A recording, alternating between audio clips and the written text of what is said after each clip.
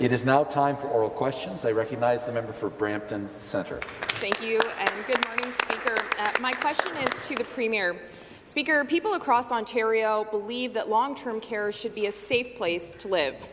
But for many of these nonprofit care providers, they see these homes as just real estate transactions. Last week, Ontario seniors who live in homes managed by Chartwell, the company led by former PC Mike Harris, um, sold off 16 homes and flipped another three as a way to turn a quick profit. Outrageously, Speaker, the company will net $277 million after this transaction. Let's be clear. These companies aren't using these profits to reinvest in better standards of care or even help to hire more staff. This profit is for their shareholders. Why does this government think that it's appropriate for private long-term care operators to net hundreds of millions of dollars in real estate transactions? And to reply, the Government House Leader. Uh, thank you very much, Mr. Speaker. Mr. Speaker, look, I think this has uh, uh, less to do with, uh, with Chartwell and more to do with NDP ideology. So what the member uh, and her party are suggesting is that the uh, long-term care system be nationalized in the province of Ontario. And what they are wanting to do is spend billions of dollars buying buildings. Now, Mr. Speaker, we have chosen a different path. We are choosing to invest billions of dollars in building new long-term care homes, billions of dollars in increasing staffing in our long-term care homes, all things that would be at risk should the NDP uh, proposal of nationalizing long-term care ever come to pass in the province of Ontario. It would put to risk the $40 million of additional funding that this government has earmarked for homes in Brampton, Mr. Speaker.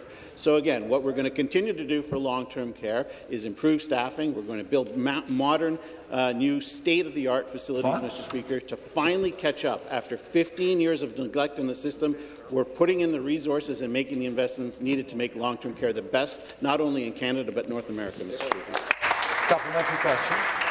Uh, thank you, Speaker. Uh, what New Democrats are fighting for is to ensure that billions of dollars don't go to for-profit care providers and that we reinvest in providing care with dignity to seniors in this province.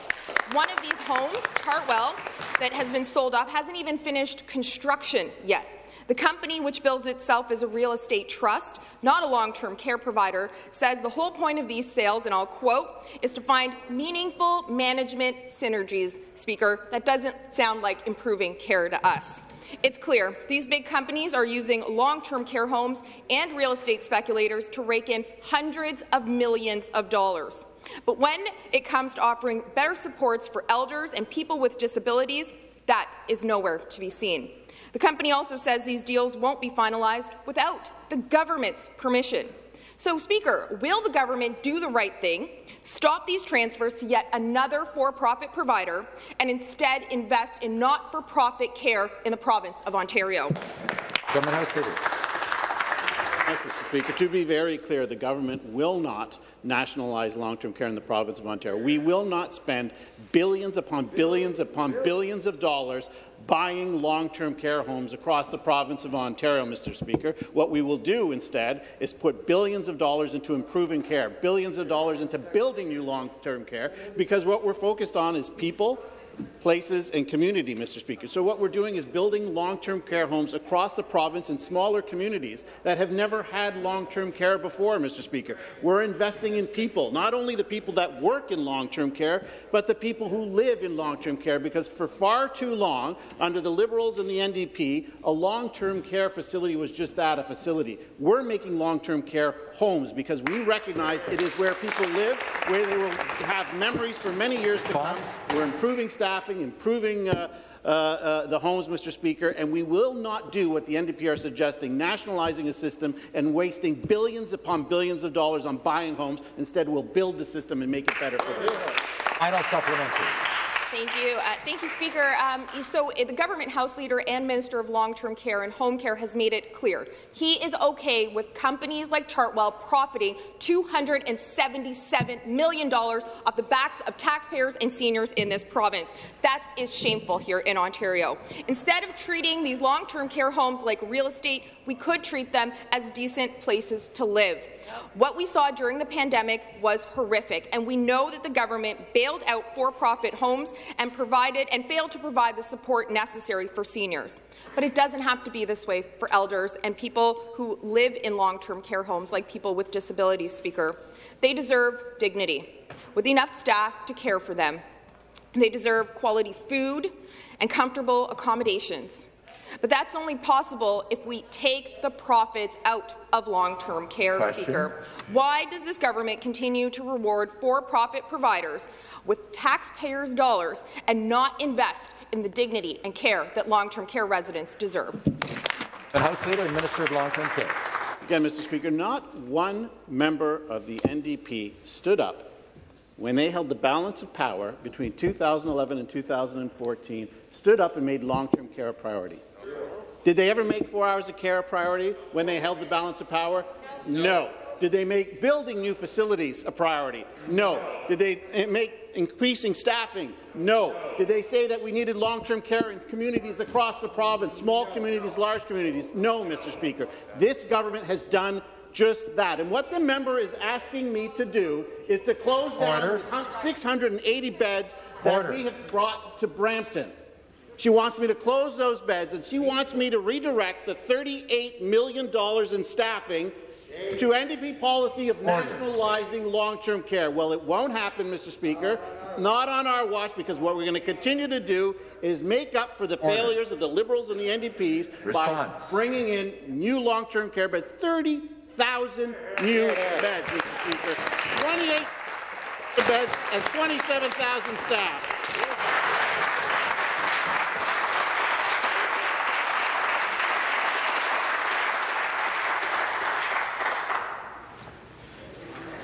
Restart the clock. The next question, once again, the member for Brampton Centre. Uh, my next question is uh, also for the Premier. Uh, Speaker, the Ontario government's rollout of the antiviral drug uh, Paxlovid has been anything but smooth. For immunocompromised Ontarians, getting a prescription for this drug has not been easy.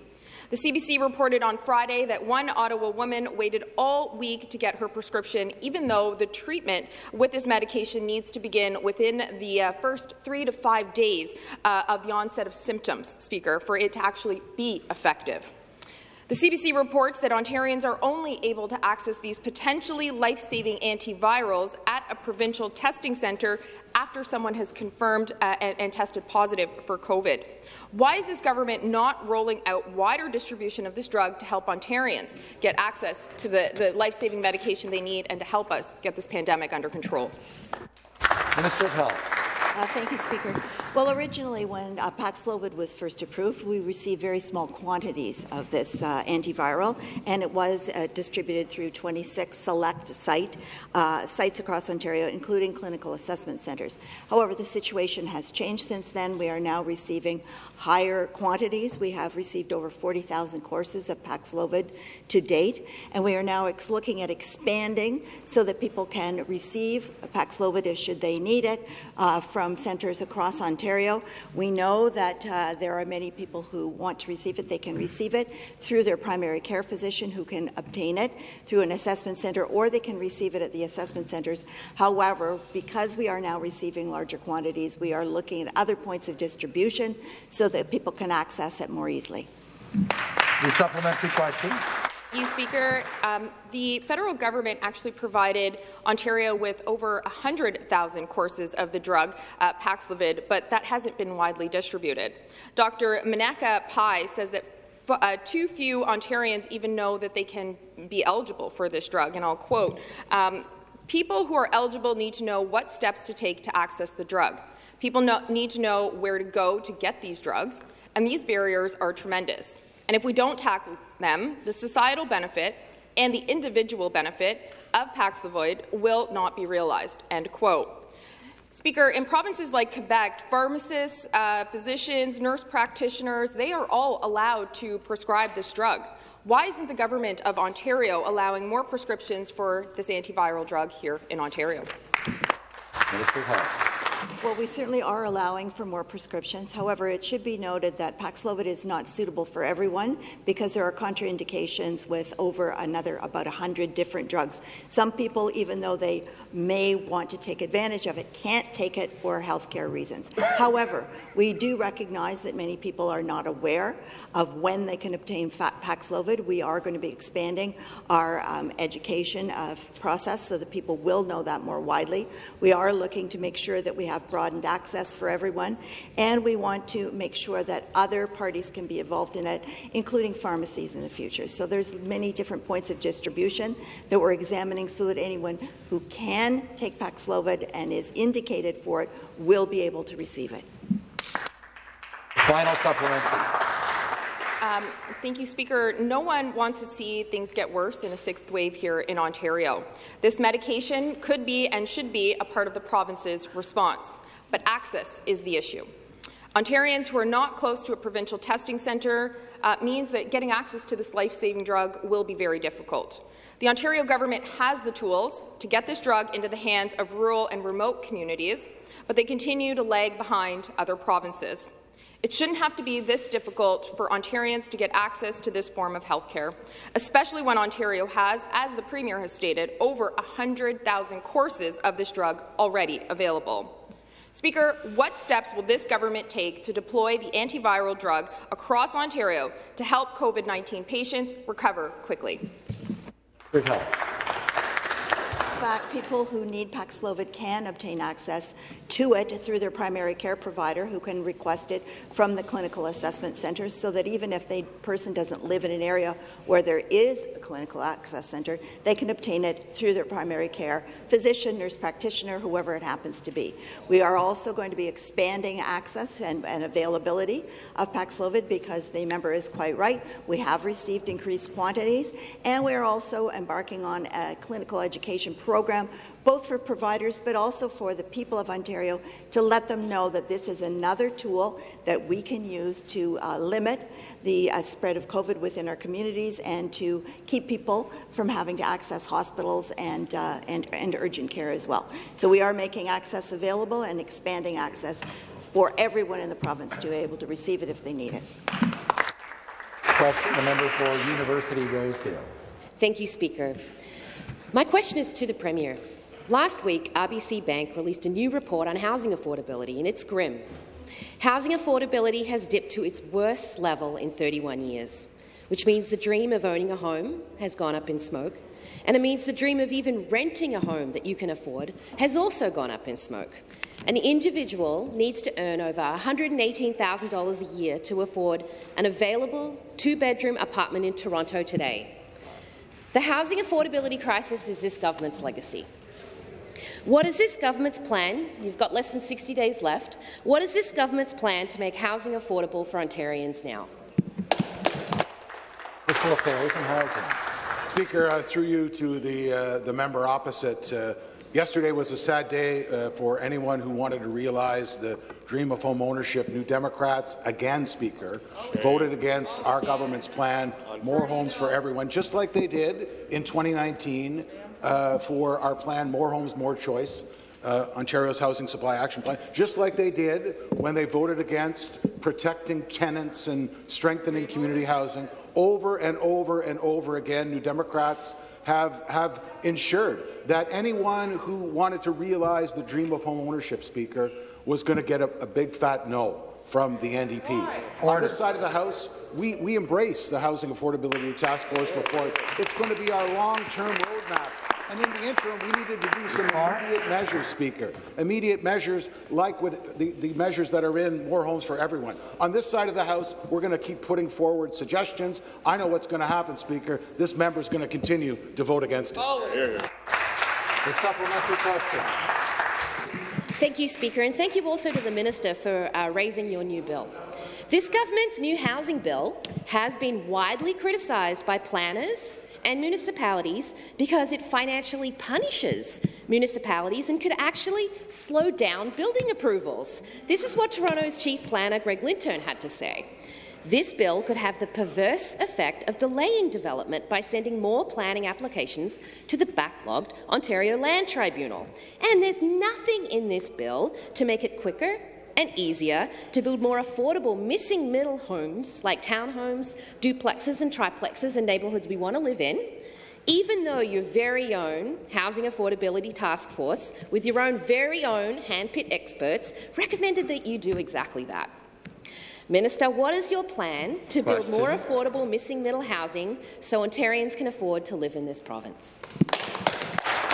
Minister of Municipal Affairs and Housing. Well, Speaker, you know, uh, you know, I guess I would have thought in one of these two questions that the member, since she just recently uh, contravened the Members' Integrity Act by breaking parliamentary convention in her own constituency. So I thought perhaps she'd uh, start her question with an apology to the people of University Rosedale, but you know, I guess I guess that's not in the cards Order. today. I'm going to quote a couple of uh, reports, Speaker, uh, from the Altus Group in 2020 that was uh, commissioned by the, the Building uh, Industry Land Development Association.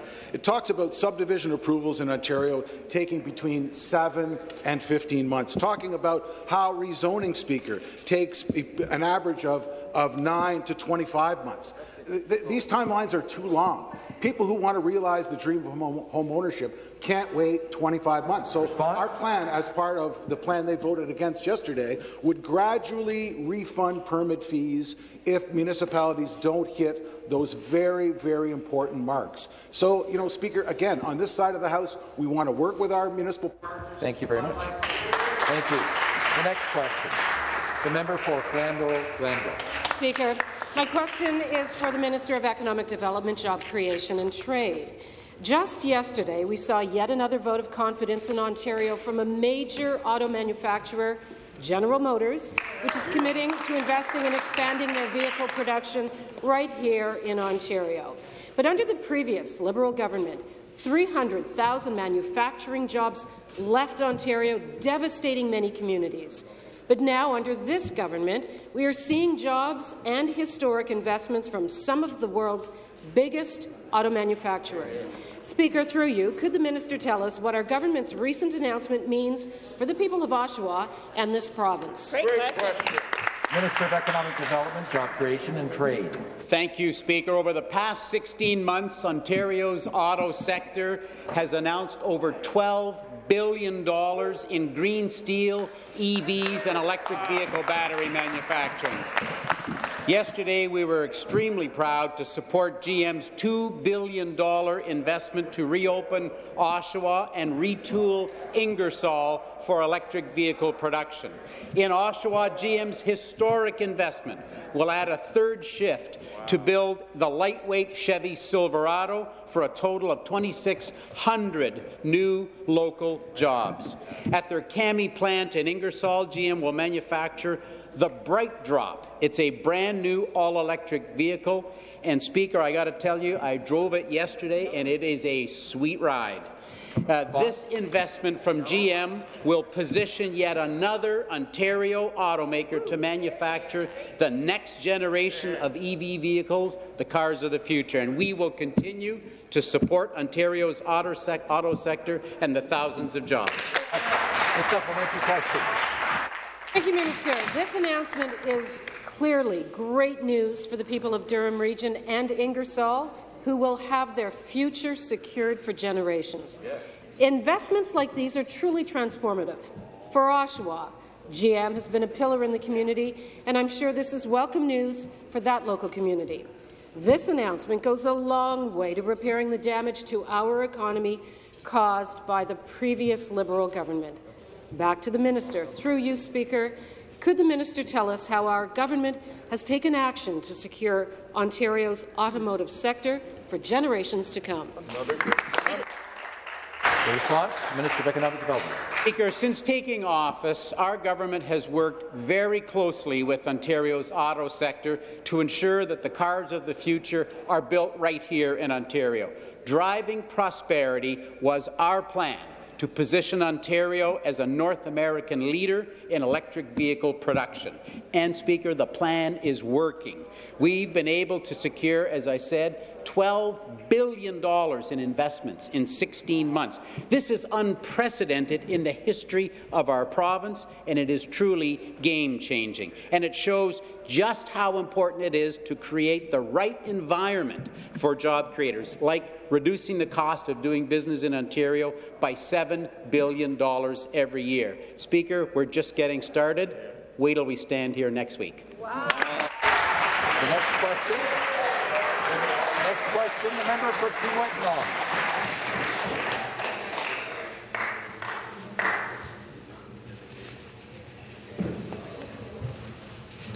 Uh, good morning, Speaker uh, Good morning. Families in northwestern Ontario are facing a dire shortage of doctors. Two weekends ago, Red Lakes only hospital closed its emergency room for 24 hours because there weren't enough physicians uh, to run it. Nearly uh, 6,000 residents had no emergency room. This is not an isolated uh, problem, Mr. Speaker. It has uh, been narrowly avoided in Sioux Lookout, a healthcare hub for area First Nations. This government knows the doctors' shortage crisis in the north will lead to more emergency department closures. What is the government doing to ensure that hospitals in the north can keep their emergency rooms open? Well, the biggest thing that we're doing is increasing uh, enrollment in our medical schools. So we have more doctors in the province of Ontario. We're adding another 160 undergraduate seats and 295 postgraduate positions over the next five years to make sure that we graduate more, more physicians and that more will be in Northern Ontario because the Northern Ontario School of Medicine is receiving 30 undergraduate seats and 41 postgraduate seats. That's going to go a long way to making sure that people who are trained in the North, that are from the North, will stay in the North and practice medicine thereafter. The supplementary question. Mr. Speaker, uh, we need solutions uh, immediately, not five years down the road. Overworked and burnt-out physicians across the North are trying to keep hospitals' doors open to care for their patients. Speaker, uh, one physician um, worked 10 24-hour shifts in a month because of a lack of doctors to fill these shifts. Physicians are only supposed to work a maximum of four of these shifts. The well-being of doctors and patients are at risk.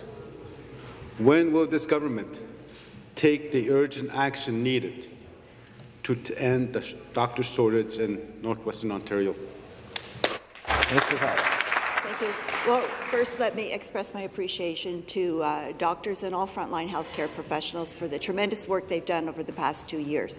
And that is why we are adding to the ranks so they, they are going to be able to not work extra shifts to be able to take time with family and friends.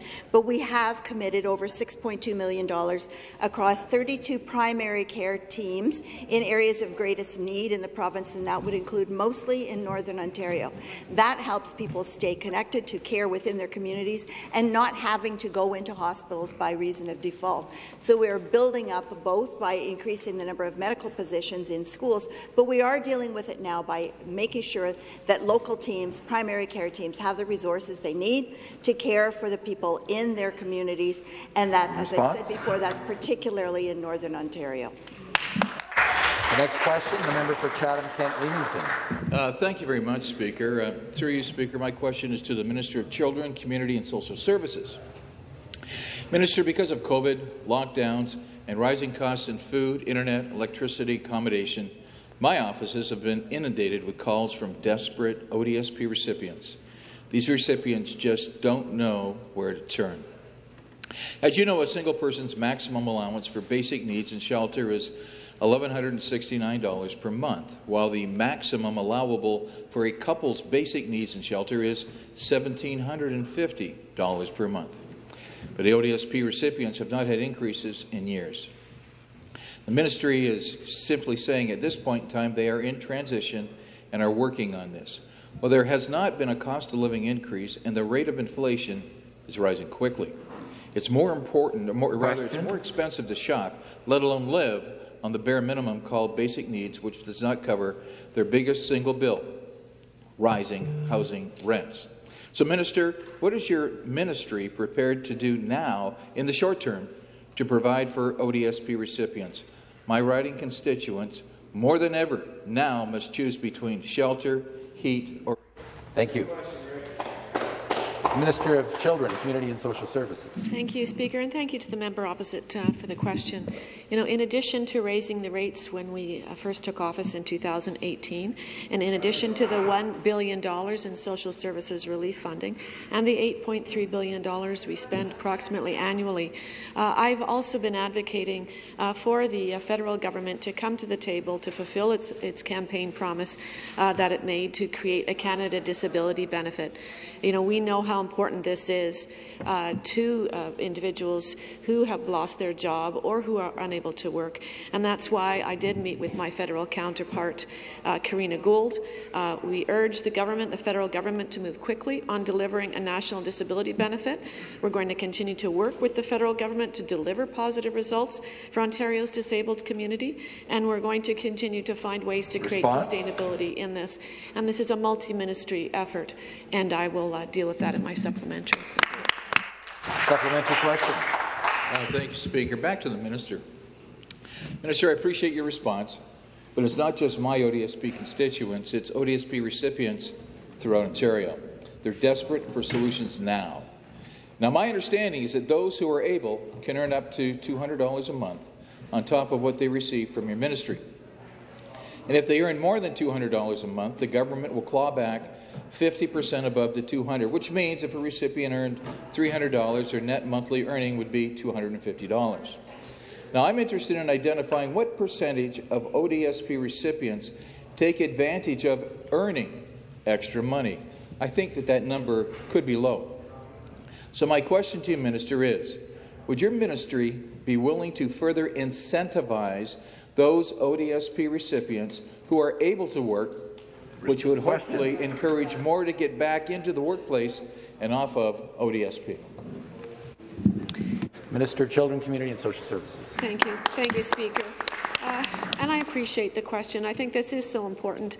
Uh, uh, we have a, a, program that works very well with other ministries, whether it's the Ministry of Municipal Affairs and Housing, the Ministry of Education, the Ministry of Labour, Training and Skills Development, and I think that that's such an important area. We're working very well with our, our ministries to make sure that people can find work uh, when they are uh, retrained in micro-credentialing.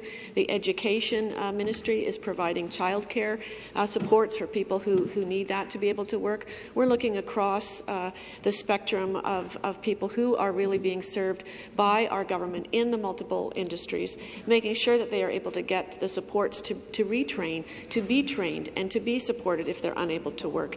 Uh, as I've said, a multi-ministry effort to create these things, uh, supports for individuals, and understanding how we need to also review and renew uh, and that's what our government, government is doing to make sure that we serve our, our most vulnerable people.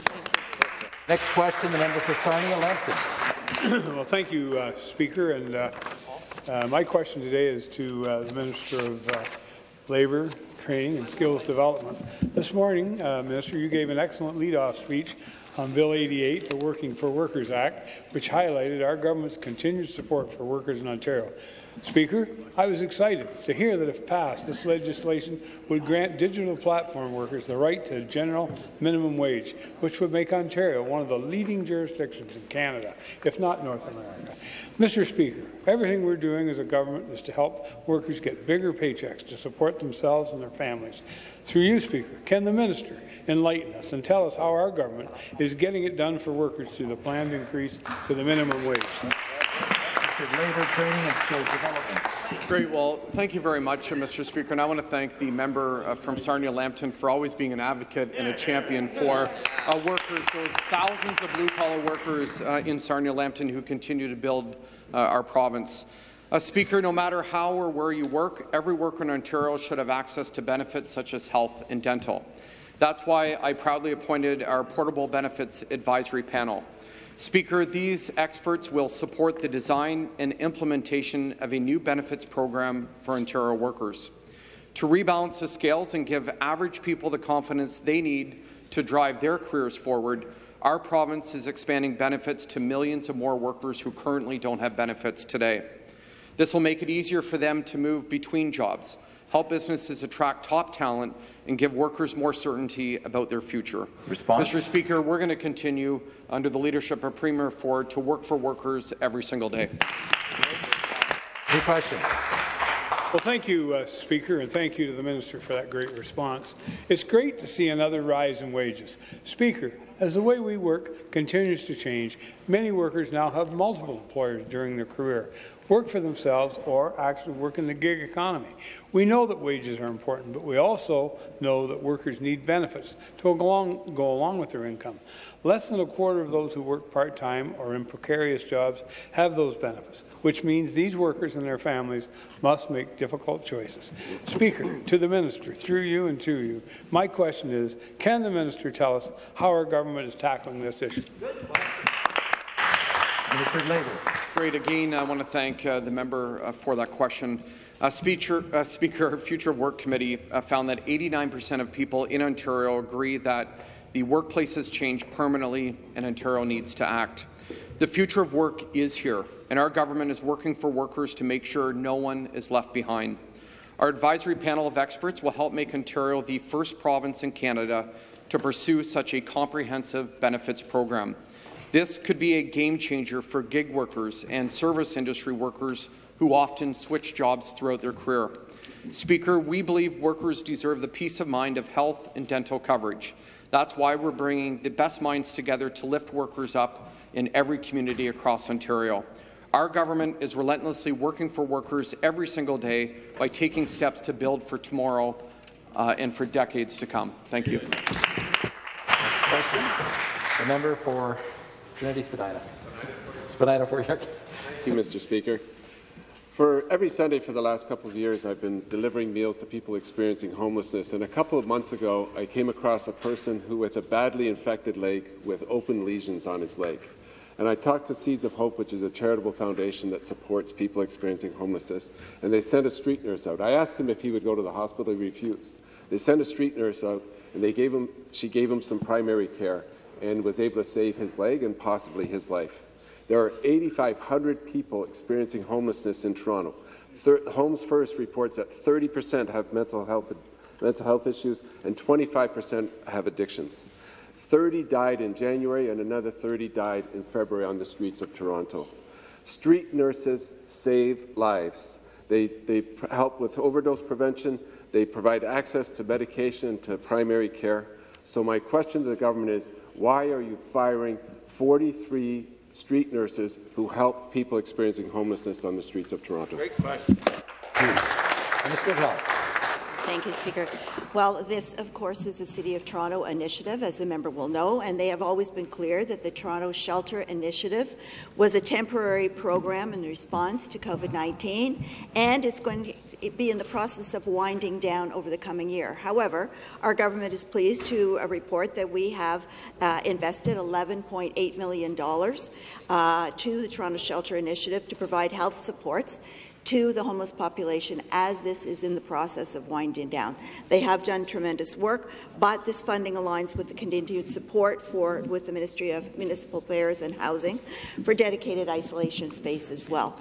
With respect to the nurses, we agree that they have done tremendous work. However, the uh, situation is such that we know that these nurses will be able to find employment Response. in other areas. We know that we need nurses in many locations. There are other parts of different um, hospitals where they can be employed, places like St. Michael's Hospital as well, which does work a lot with homeless populations to provide them both with the health care supports that they need, as well as the social determinants of health issues that they need in helping them to find housing in order to find food and all of the other essentials that they need. So, Thank you. Thank you. Supplementary, member for Spadina, Your funding may have been temporary, but the homelessness crisis is not temporary. The mental health and addictions crises are not temporary. Last Sunday, I met a woman I was delivering some meals to her, and she had had fentanyl the night before, and she was coming down and she said, I need a place to crash. So I phoned the, the central intake. We got her to a, a, a shelter, and I put her in an Uber. And I asked her while we were doing all this, I said, if I could get you into a residential treatment program, would you go? And she said yes. And so for the next couple days, I phoned the I phoned detox centers, I phoned residential treatment centers. There's no space available. People are dying on the streets of Toronto because this government refuses to treat homelessness and the addictions and mental health that many people experiencing homelessness are experiencing as an emergency. In fact, you voted down declaring homelessness a state of emergency. You voted down my motion to build 70,000 affordable homes and 30,000 supportive housing units. Question. Why does this government not treat homelessness as an emergency, stop cutting funding, stop cutting nurses, and actually provide people with both the homes and with the mental health and addiction supports that they need so that they can get rebuild their lives and get back on, on off the streets. Thank you. The Associate Minister of Mental Health and Addiction. Thank you, Mr. Speaker, and thank you for that very important question. Mr. Speaker, we know that the social determinants of health, including housing, are extremely important issues to address. And that's why our government has worked and created a cross-ministerial approach to dealing with the issues of mental health, addictions, and, of course, housing. Our government has invested and continues to invest money in providing supports to individuals that need help when it comes to their addictions. And as you will recall, in February, we announced $90 million in the Addiction Recovery Fund, and we opened over 400 treatment beds, which are equivalent to 7,500 new treatment spots. Now, Mr. Speaker, this problem did not get created in the last four years. This is a problem that's existed long before the pandemic, and it's something that only this government here, here. has come forward to actually do something about, not the Liberals and not the NDP when they had the opportunity. In fact, they did the cuts. Thank you. Thank you. The next question, the member for Scarborough-Guildwood. Thank you, Speaker. My question is to the Premier. The deadline to table the province's budget was last Thursday, March 31st. It is now April the 5th, and still we have not seen the Premier's budget. So I would first like to take a moment to wish the Premier a belated, happy, delayed budget day. It seems like the Premier's pledge to table a budget before Government April side, come to order. was a serious promise seeing as it came with an ironclad guarantee. Ironclad. However, it doesn't seem as if the Premier takes his promises seriously. Order. While breaking promises has become a habit, we have seen broken promises when it comes to clearing the waitlist for children with autism. The reality is Ontarians cannot give themselves budget extensions for the services and the supports that they need now. Perhaps Question. the Premier delay of the budget to campaign, perhaps on his spring election. Speaker, does the Premier think it is fair to make Ontarians wait, especially when they cannot pay their bills with promises, especially broken ones? To reply, the member for Aurora, Oak Ridges, Richmond Hill, and parliamentary assistant. Government side, come to order. The question, Speaker, this is coming from a member from a government that missed eight of 14 of their third quarter finances, Mr. Speaker, when they were in power, right? So, well, so we're definitely not going to be taking lessons from a government that failed Ontarians 15 years in a row, Mr. Speaker.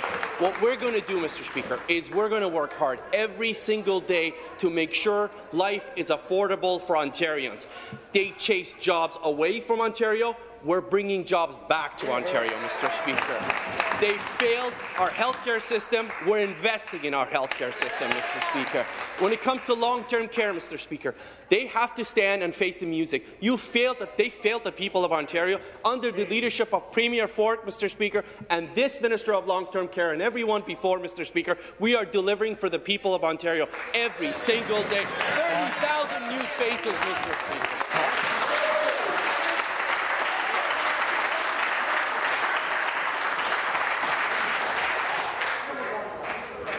Members will take their seats. Order. Order.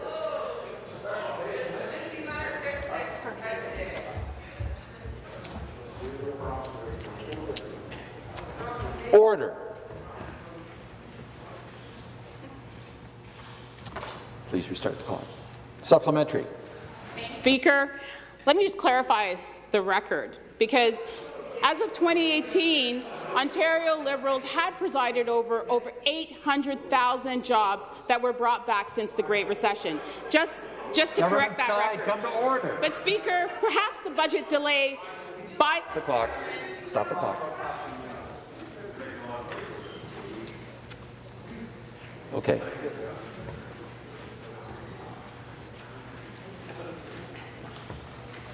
I have to be able to hear the member for Scarborough-Guildwood.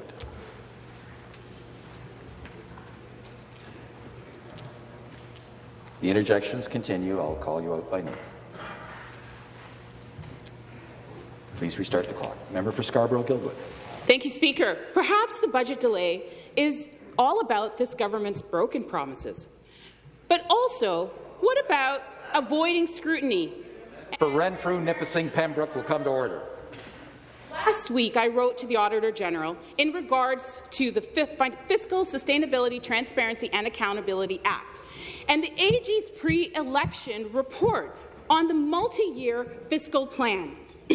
While her response confirmed that the AG still intends to release a statement once the 2022 budget is released, whenever that may be, the issue, of course, is that we still do not know when that's going to happen. Question. Speaker, a pre-election review by the AG is an important accountability measure that Ontarians rely on for good governance and for their, to review their province's finances. Given the AG at least a few minutes to review the budget is not enough. She historically— Thank you. Thank you.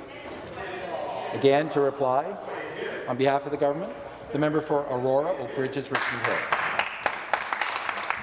Thanks very much, Speaker. And again, I thank my uh, my colleague for the question. Speaker, what the what we have uh, been used to here in this province the last four years is that we've been getting a clean audit. Uh, that, I know that was foreign to the previous government, but every time we put our numbers forward, we get a clean audit from the Auditor General, who I work very closely with in, in, on a committee, Mr. Speaker. But let me tell you, she talked about she talked about Order. jobs. I'd be more than happy to respond to you, Mr. Speaker. 300,000 manufacturing job loss. Under South, the come mini- to order. under this minister, we're bringing hundreds of thousands of jobs back to Ontario again. Mr. Speaker, they closed 600 schools. Under this minister, we're opening schools and investing in, in our students, Mr. Speaker. And when it comes to health care, Mr. Speaker, as I mentioned earlier, they failed the people of Ontario. They failed our seniors. That's not what's going to happen under this government. We are going to continue to deliver for the people of Ontario. We're going to continue to make sure Ontarians live in a more affordable. We want good-paying jobs coming back to Ontario, Mr. Speaker. This Thank you very much. The next question, the member for Stormont, Dundas, South Glengarry. Thank you, Speaker. My question is for the Minister of Environment, Conservation and Parks. With spring and summer right around the corner, Ontario's provincial parks are a phenomenal resource for everyone in Ontario to get outside, get active and spend time in nature. Not only are Ontario's parks a wonderful place to hike, swim and enjoy the great outdoors, they're also a great place to learn about the natural environment. And I've heard about a wonderful new way for Ontarians to support the provincial parks, and my constituents are eager, eager to learn more. Speaker, through you, can the minister please share how Ontarians can support our great outdoors when online? Good question. The Environment, Conservation and Thank, thank you, uh, Speaker, and I appreciate uh, the question from that phenomenal member who, like me, I know enjoys getting out and enjoying our great outdoors. Speaker, I'm, I'm really proud to say that, and stand in this House today to say that the Ontario government, under Premier Ford's leadership, has launched for the first time ever a permanent online parks store. Speaker, for generations, families have been making memories in Ontario parks that last a generation. Now they have access to some of the favorites, bottles, hoodies, T-shirts, those crests, and the best part, Speaker, 100% of those proceeds go back into Ontario's provincial parks. Back back into expanding the trail system, back into expanding the canoe routes, back into protecting our protected areas for generations to come, working with endangered species. Speaker, there's so much more. We're so excited. Thank you. Supplementary question.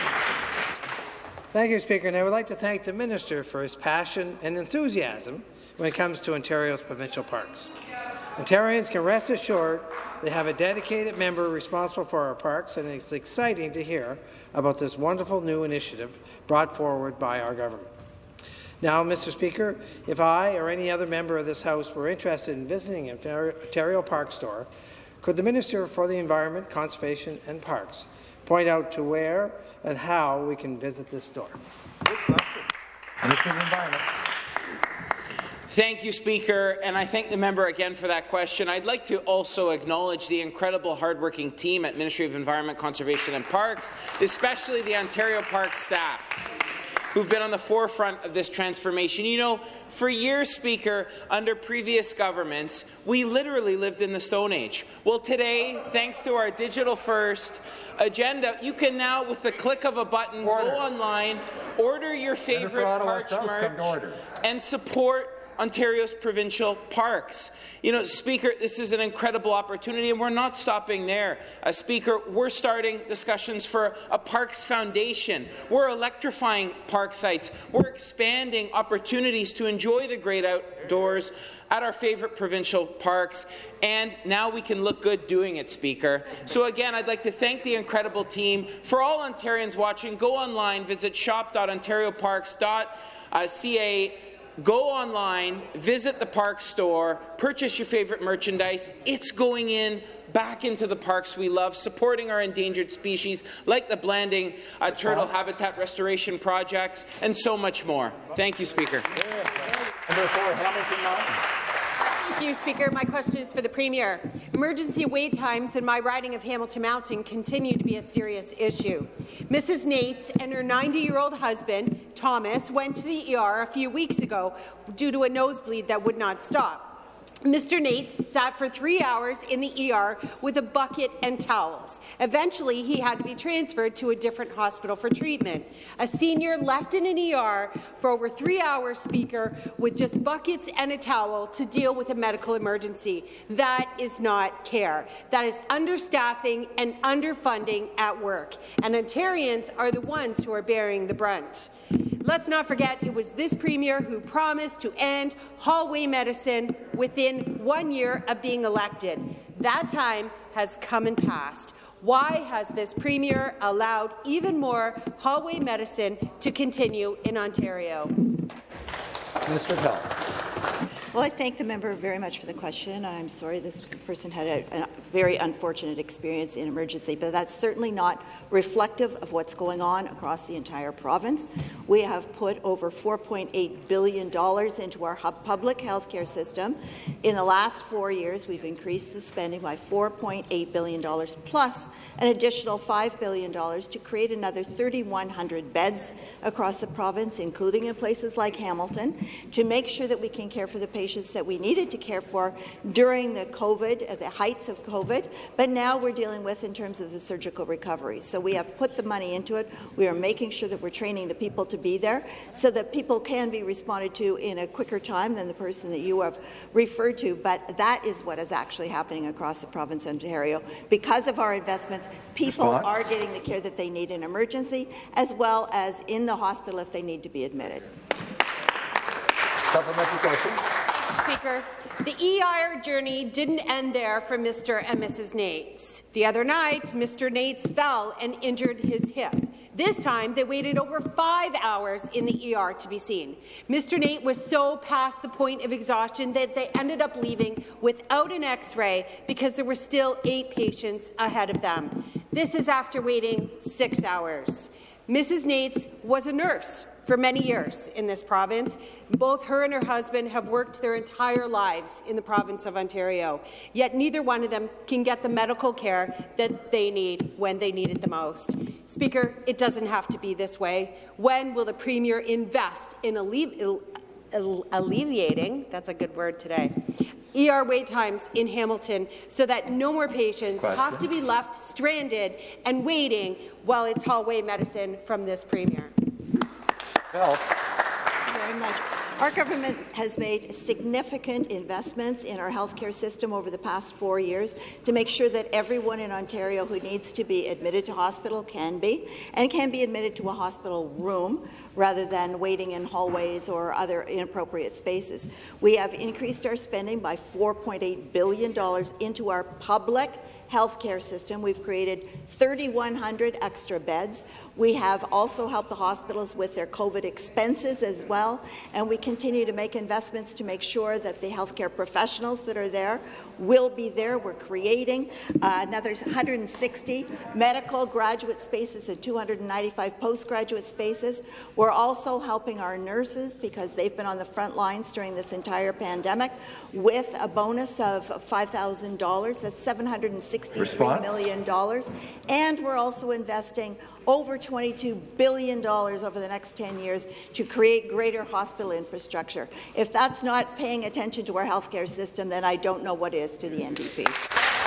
next question, the member for Durham. Thank you, Speaker. My question is for the Minister of Children, Community and Social Services. Before the pandemic, there were signs many people across this province, young and old, were feeling less connected than they did in previous generations. Spending more time online, seeing friends less, spending less time volunteering in the community. All of these things have an impact on our productivity, our health, and our well-being. The pandemic only exacerbated this serious public health problem that is loneliness and social isolation. Bill 104 would require the government to take action on this important issue. Will the government support it? Reply, Government House Leader. Thank you, uh, thank you very much, Mr. Speaker, and uh, thank the honourable member for uh, for the uh, the question. Uh, honestly, the government, uh, I understand the member's bill, and it's obviously a, very thoughtful piece of legislation, and I do I thank her for bringing it forward. It is something, of course, that we on this side of the House will take a look at. Uh, private members' bills, uh, of course, on, the, uh, on this side of the House are, uh, are left to the, uh, the, decision-making of, uh, of, of, the members themselves, Mr. Speaker. But I can tell the member that there has been good positive discussion, at least on this side of the House, with respect to the importance of the bill. And I know that the Minister of Mental Health and Addictions is also uh, spoken uh, uh, about the bill as the Minister for Children and Community Services. So we are all uh, looking at uh, looking at that because it is it is very clear. I don't think it, it's a partisan issue by any stretch of the imagination. We understand the challenges over the last couple of years for people, uh, and Mr. Speaker, the, the certainly the, the, lack of resources that were left on the table back in 2018 when we came to, to government. So I thank the member for the question. The supplementary question. Thank you, Speaker. And I want to thank the government uh, House Leader for, for being open to this issue and this discussion. Um, uh, I will note that Dr. David Williams tabled a report in this House in 2019. It was actually a 2017 study he did, but he tabled it in 2019, recognizing loneliness and social isolation as a serious public health issue. Um, he's done some great research that I think is in that report. Being disconnected, um, according to often cited research, is as dangerous as smoking 15 cigarettes a day. It's also a major risk factor for abuse and neglect. The time for a comprehensive province-wide strategy is now. Will the government commit to it? The Associate Minister of Mental Health and Addictions. Thank you, Mr. Speaker, and uh, thank you for that very important question. We know that our children, as a result of the COVID-19 pandemic, have suffered a great deal. We've noticed it with respect to the eating disorders, and as a result of that, the complications resulting from that. We acted very quickly on that and made investments of $8.1 million, followed by additional investments of $11 million for eating disorders. In addition to that, we are looking particularly at the lifespan of the individuals to ensure that we're giving the right supports that are appropriate to the age of the individuals. The issues that you raise about uh, isolation, anxiety, depression, these are all things that, yes, we're aware of and need to do something about, especially because if we work with the individuals and build resiliency in their youth by different therapies that are available to them, by embedding those programs Response? into education, we will be able to help them and ensure that they have a healthy and productive adulthood. Thank you. Thank you. The next question. Yes, the member for Toronto Danforth. Thank you, Speaker. Speaker, my question to the Premier. Yesterday, the latest global climate report warned that the world was hurtling towards a climate danger zone, a time not only of more extreme weather events, but also a time of dropping standards of living and hunger for billions of people. At the same time, this government is ignoring its own inadequate climate plan and has added to the climate pollution we faced over the past four years. Now, now we hear from the Daily Commercial News, the construction industry newspaper, that the government is undermining the steps needed to bring new construction into the 21st century with a building code that will not only protect the climate, but will protect building occupants. They are ignoring those steps that we need to have taken. Why won't the Premier direct that the new building code be designed to help people by cutting their energy bills Question. through energy efficiency? Thank you.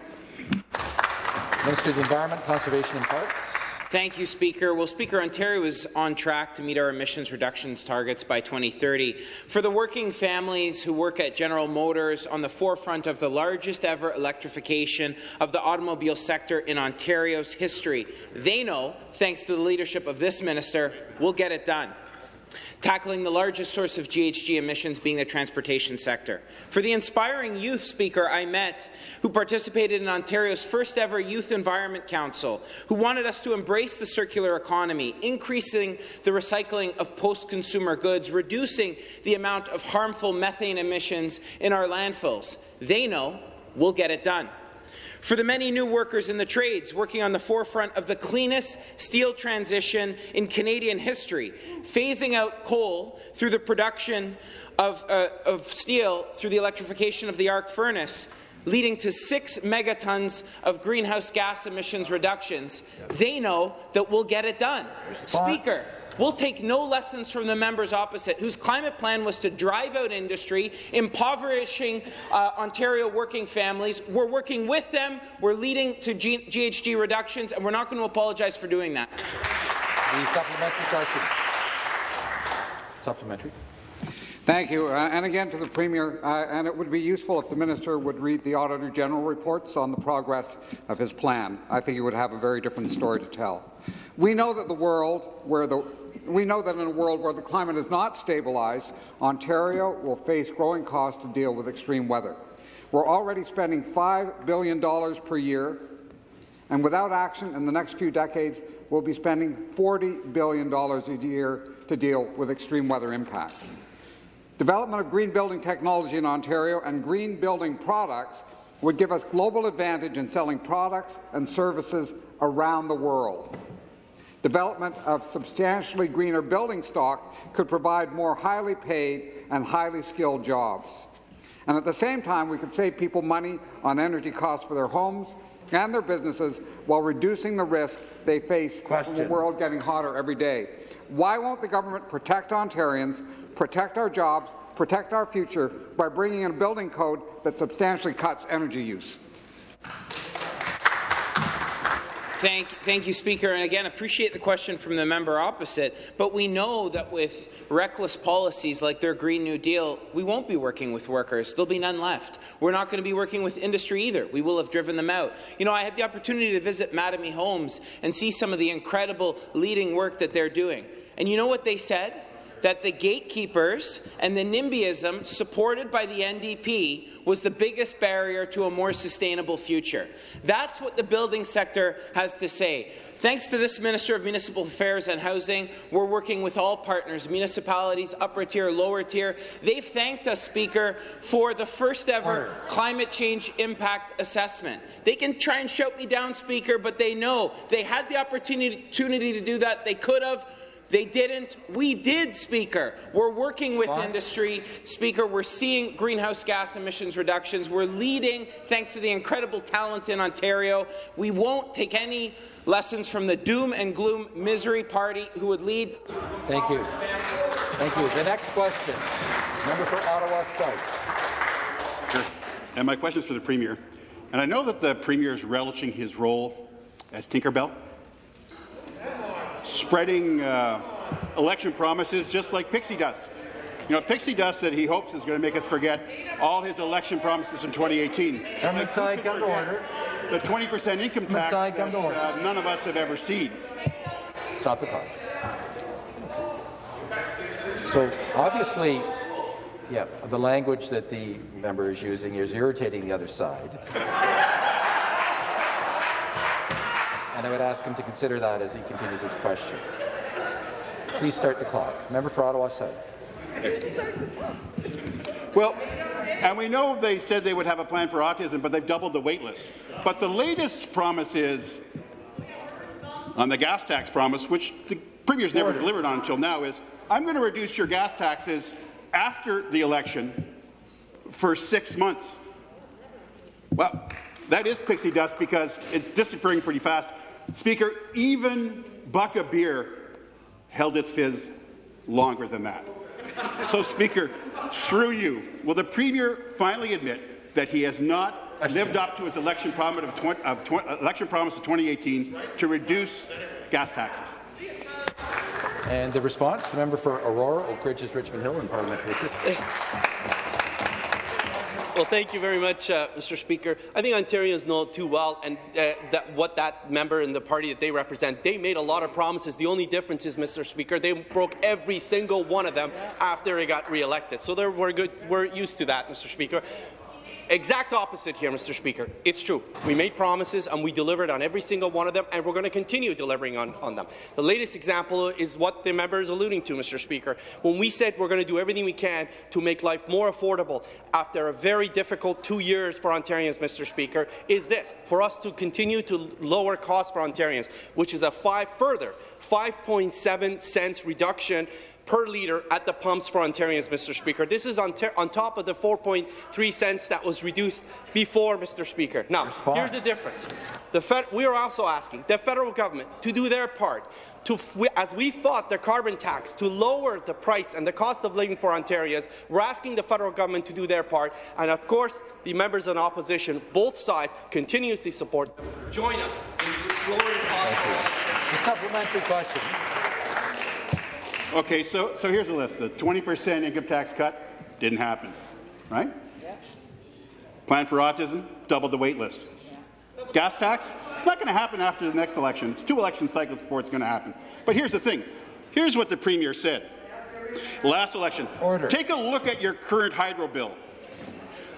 We are going to reduce them. They will go down by 12%. Guess what?